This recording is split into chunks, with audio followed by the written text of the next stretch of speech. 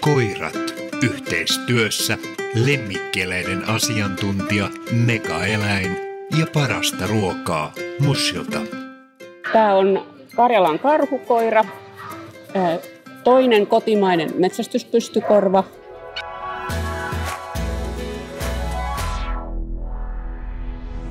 Tämä on alkukantainen tyyppi, eli tämä on edelleen niillä juurilla, mistä se on löydettykin. Eli hän on suurriistan koira pääasiassa, toimii myös sitten noutavana koirana sorsastuksessa ja lintua puuhun haukkuvana koirana maalintujahdissa. Mutta hirvi on se päälaji ja karhu on se päälaji.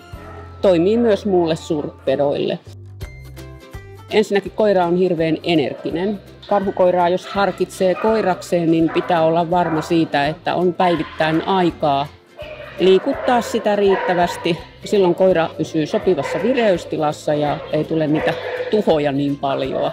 Eli koira on todella energinen, tarvii paljon liikuntaa ja tietysti kun on kyseessä riistakoira, niin toivoo, että sillä on mahdollisuus päästä metsälle. Se on sen, sen pääasia, mutta toki toimii monessa muussakin asiassa.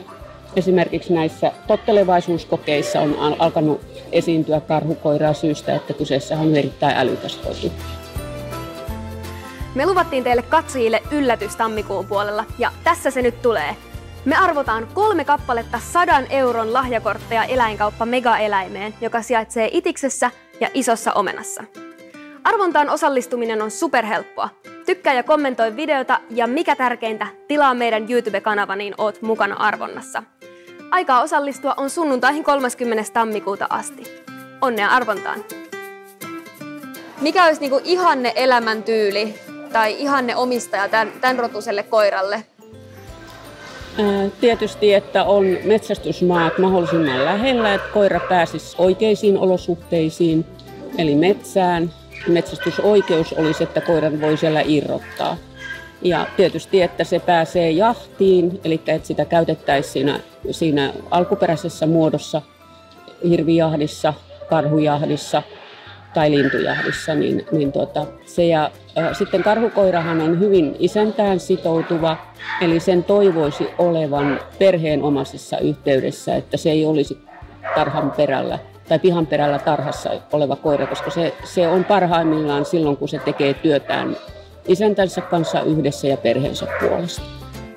Jos olet kiinnostunut tästä rodusta, tykkää ja kommentoi, niin perehdymme rotuun paremmin. Lemmikkimedia.fi-sivulta löydät myös lisää tietoa aiheesta. Linkki löytyy videon tiedoista. Muista myös tilata kanavamme.